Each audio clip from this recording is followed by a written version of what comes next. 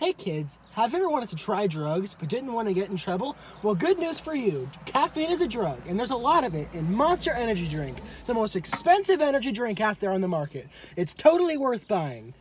Cocaine for kids. That's not. What?